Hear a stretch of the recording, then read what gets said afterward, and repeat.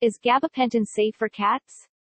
Gabapentin is safe for cats and is commonly prescribed by veterinarians to treat pain, anxiety, and feline hyperesthesia syndrome. It has a low risk of side effects when taken at the correct dosage.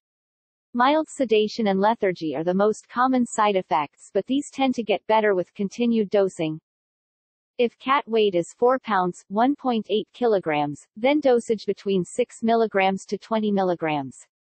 If cat weight is 6 pounds 2.7 kilograms, then dosage between 9 milligrams to 30 milligrams.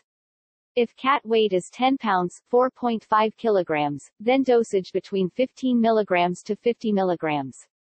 If cat weight is 15 pounds 6.8 kilograms, then dosage between 22.5 milligrams to 75 milligrams. If cat weight is 25 pounds, 11.3 kilograms, then dosage between 37.5 milligrams to 125 milligrams. Gabapentin makes your cat feel a little sleepy and possibly a little uncoordinated initially. Thanks for watching. Subscribe to know more details in day-to-day -day life.